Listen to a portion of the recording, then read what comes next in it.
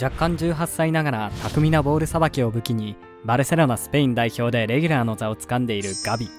皆さんはそんなガビの人生を知っていますか？サッカーでは堂々たるプレーを見せているガビですが私生活ではを何度もなくしていたりの結び方を知らなかったりとめちゃくちゃなエピソードが多くあるんです。早速ガビの人生を見ていきましょう。幼少期。2004年8月5日にスペイン・アンダルシア州セビリア県。ロスパラシオス・イ・ビジャフランカで生まれたガビことパブロ・パエス。ガビの両親によると幼少期のガビはとても恥ずかしがり屋な性格でいつも姉のオーロラ・パエス・ガビラにべったりだったそうです。そんなガビがサッカーと出会ったのは6歳の時。地元のクラブリアラ・バロンピエに入団すると瞬く間にサッカーに夢中になっていきました。また人前で話すことすら苦手だったガビでしたがサッカーになると大胆なプレーを連発。特にボールテクニックは他の子供たちとは比べ物にならないくらい圧倒的なものでリアラ・バロンピエに入団以降はものすごいスピードで成長していきました。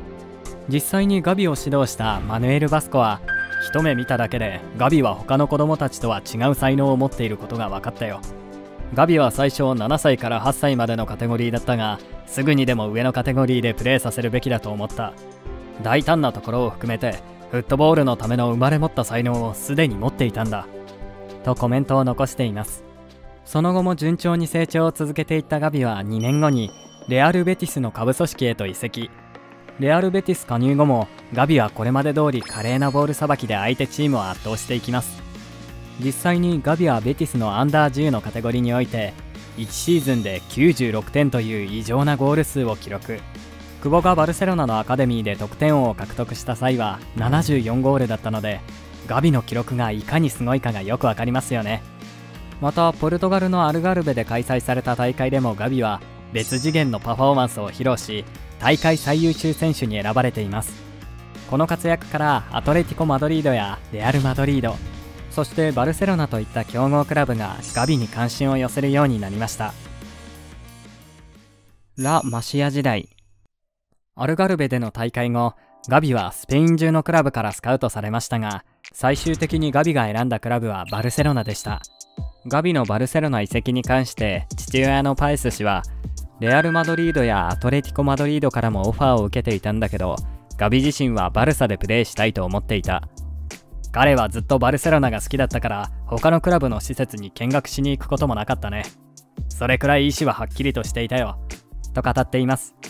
またガビのアイドルは誰だったのかとインタビューで聞かれると昔からイスコが好きだった。でも彼はイニエスタの大ファンでもあるんだとコメント。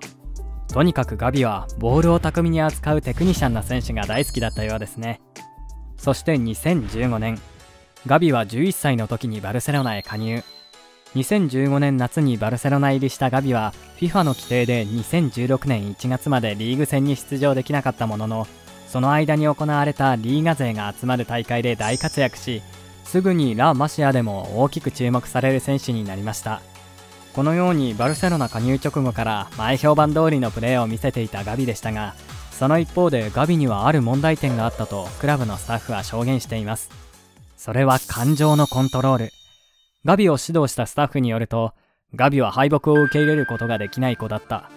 だからチームが負けた後は毎回彼を落ち着かせなければならなかったよと振り返っています。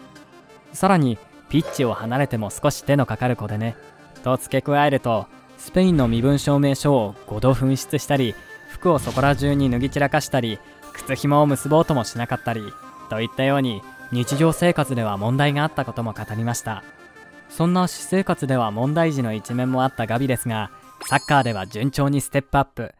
特に2020年以降は波乱の連続で2020年6月までアンダー16チームの中心だったガビでしたがその翌シーズンに飛び級でアンダー19チームに昇格。さらにそれだけにとどまらず2020年12月にはガルシア・ピミエンタ監督率いるバルサ B チームに招集され2021年2月に16歳でデビューを果たしました。フィジカル面の差が大きく現れるアンダー19チームからのステップアップだったにもかかわらずガビは B チームで2試合に出場。そして2021年のプレシーズンクーマン監督の下でついにトップチームからの招集を受けガビのトップチームデビューは目前まで迫っていました。プロデビュー。プレシーズンマッチでも印象的なプレーを披露したガビは2021年8月29日リーガ・エスパニョーラ第3節のヘタフェ戦でついにトップチームデビュー。ガビはトップチームでも持ち前の大胆なプレーを見せ17歳とは思えないほどの安定したパフォーマンスを披露します。その後も少しずつ出場機会を増やしていきチャンピオンズリーグデビューも果たしたガビにさらなるサプライズが訪れます。2021年9月30日ウェハーネーションズリーグ2020-21に向けたスペイン代表に初招集されたのです。この大抜擢には世界中で話題が沸騰しスペインメディアもトップレベルをほとんど経験していない選手の招集は早すぎるのでは？とガビのスペイン代表招集に疑問視する声を上げました。しかしスペイン代表のルイス・エンリケ監督はガビにはここ数試合のプレーを代表でも見せてほしい。彼のことはカンテラ時代からよく知ってるし将来彼が大活躍してくれることに疑いはない。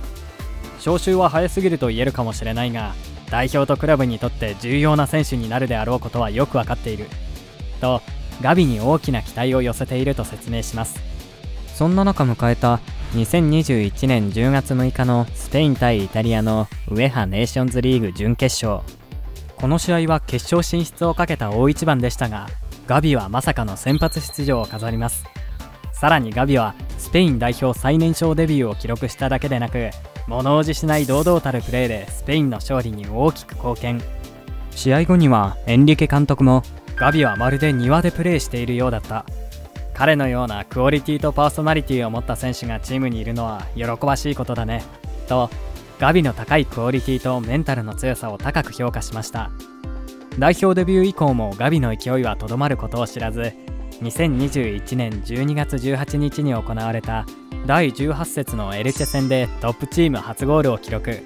さらに2022年6月5日に行われたウェファネーションズリーグのチェコ戦では代表初得点も挙げるとこの得点がスペイン代表の最年少得点記録になりました。最終的にガビは2021-22シーズンに34試合出場で2得点6アシストを記録。